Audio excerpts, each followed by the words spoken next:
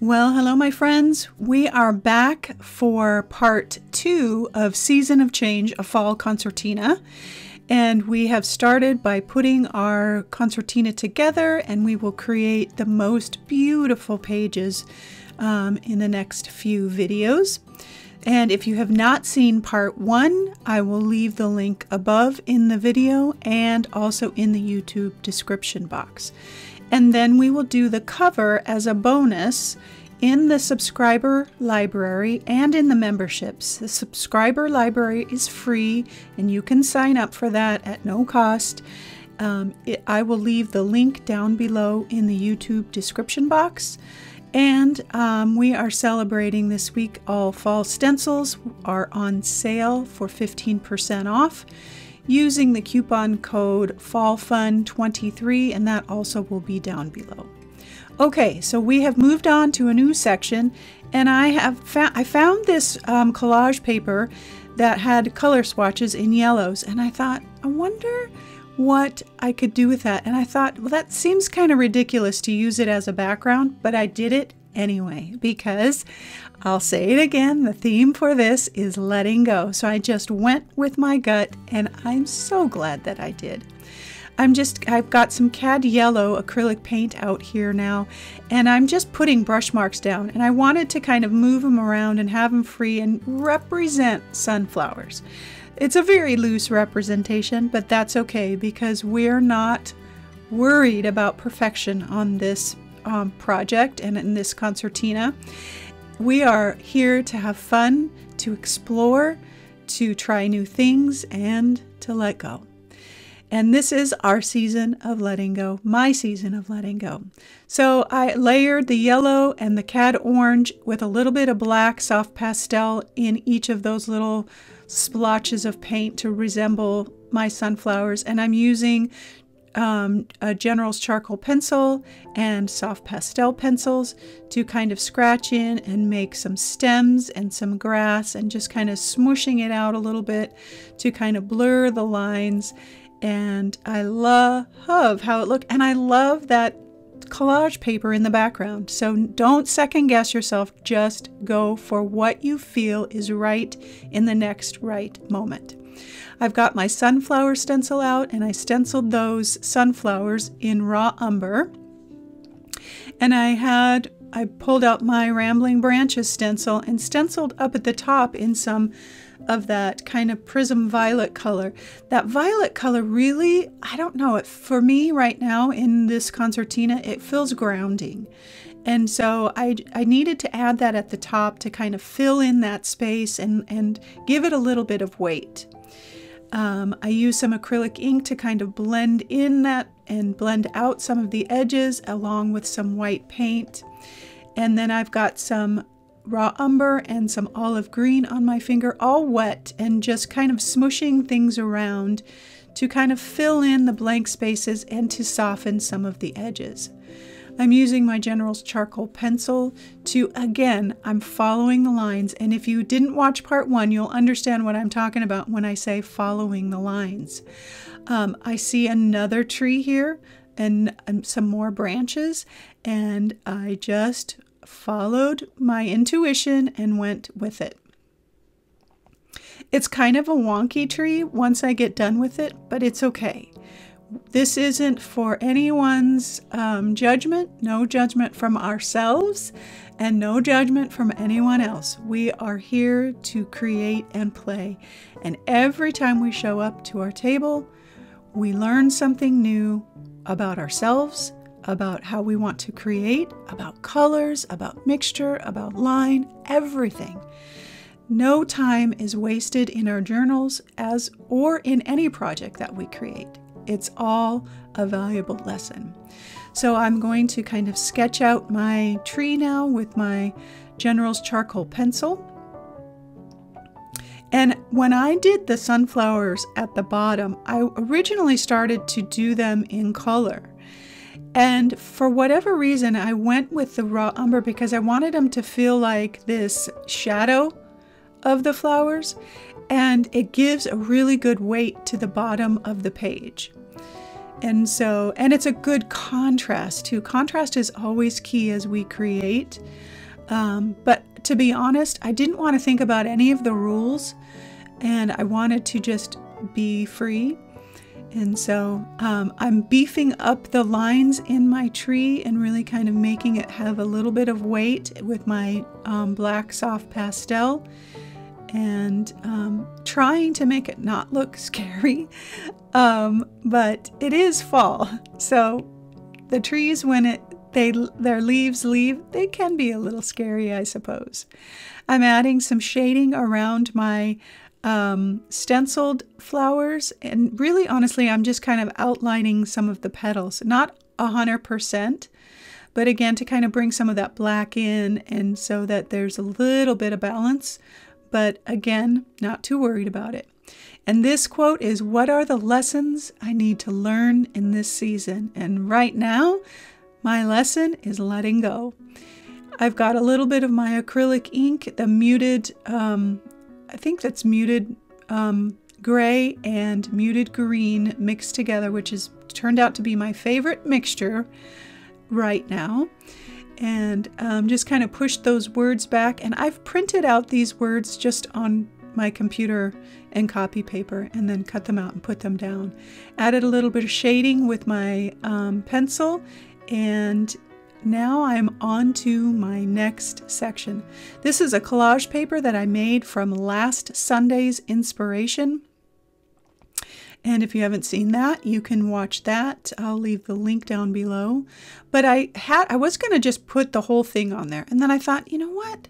It's got such interesting leaf pattern that I wanted to cut some of them out. And I thought, I'm going to do it. I'm going to go for it. And so I cut quite a bit of the sections out and then put them down. And this is on wet strength tissue paper, so it's really strong and I'm not worried about tearing it or anything like that. I'm using Liquitex Fluid Matte Medium to put that down. And um, now that it's dry, I've got a little bit of my ink out here in the muted gray that I have been using all along. And I think I might have said it was Prism Violet. It's muted gray. It's such a beautiful color. And um, I'm just going to go right over the top of that with my with some vines that kind of represent what the stencil, stenciled image that I put down. And that stenciled image is from the Rambling Branches stencil. And um, I'm just letting it flow. I am using a um, quarter inch angle brush and I really like an angle brush so much better than a round brush because I can get a flat edge or a wider edge and it gives me a lot of variety in my brush stroke. Um, but just really free form, putting my my uh, little leaves or branches or whatever you want to call them. It's all my imagination and that's what I love so much about this concertina. It is absolutely childlike play and I so want that for you adding a little bit of um, grasses, brush strokes to kind of blend everything in, and adding some of that muted gray down at the bottom to, again, kind of connect all the areas. And I overlap all of the areas so that it feels like one long, wonderful journey, one long, wonderful story. This is my black crow stencil, and I chose the crow because of the quote that I'm going to put in this section. Um, this is the muted uh, violet and muted green again because I wanted some kind of blue sky up at the top because I didn't have any leaves that I had stenciled in this section. Um, I used the green leaves at the bottom of the page and so I wanted a little bit of blue sky and my teal wasn't quite blue enough so I added a little bit of Prussian blue and I wasn't real fond of that. So I, I kind of stuck with this a little bit and kind of worked through the color that I really wanted. And um, just using my fingers to tap that out and at, kept adding back and forth some color to try and get where I wanted to go. And it wasn't going exactly as I had thought it would go. So I thought, well, I'll add a little bit of white in there. This is titanium white in acrylic ink. Then it was too blue. So I stuck with it added some muted green back in, and oh, here it comes. Here comes the color that I was looking for.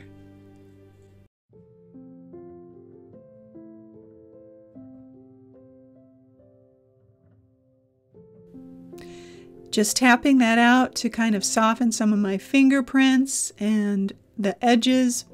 And I have found my way with my sky color, and it is all good. And even if it wasn't perfect, I was going to be okay with it because that's the process letting go of the outcome.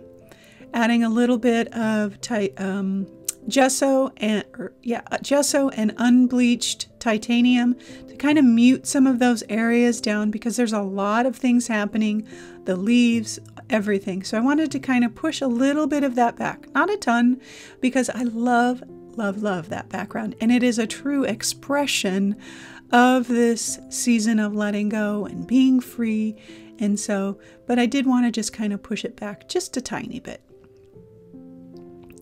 and I'm just putting my paint on my finger and then dipping my finger into my water bucket and kind of smushing that paint around. Bringing back a little bit of that muted green up into the sky there. And now I'll come back and I will use my General Charcoal pencil to just kind of quickly outline my leaves. I'm not getting too detailed and you can tell that by how I'm holding my pencil. I'm holding it at the end, I'm not choked up on it, and when I want detail I will choke up on my pencil. So I'm just letting there be scratchy lines and freedom in this section, in all of the sections. Um, that is my goal.